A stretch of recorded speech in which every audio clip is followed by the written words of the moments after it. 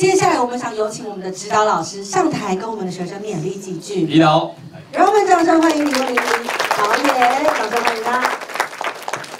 那个《维扬》这部片子在剧本的阶段啊，我们我就他也跟我仔细讨论过，企图心是非常大的，但是我就怕在制作的时候，因为整个的预算的规模，整个的我们技术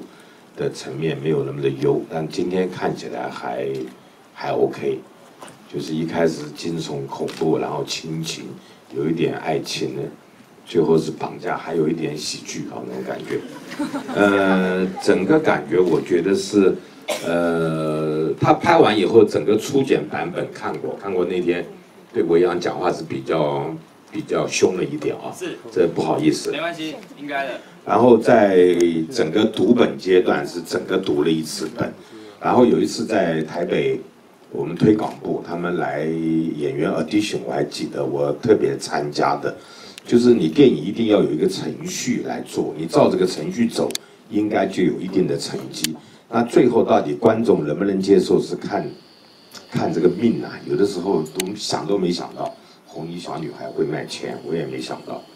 但是，但是他就是大家喜欢看这个这个片子，看到最后还有一点点蛮有一点味道的。我觉得也可以发展成一个长的剧情片，希望大家毕业以后能够。再接再厉，把它发展，看看大家有没有可能再来挑战，好不好？谢谢各位，谢谢，谢谢。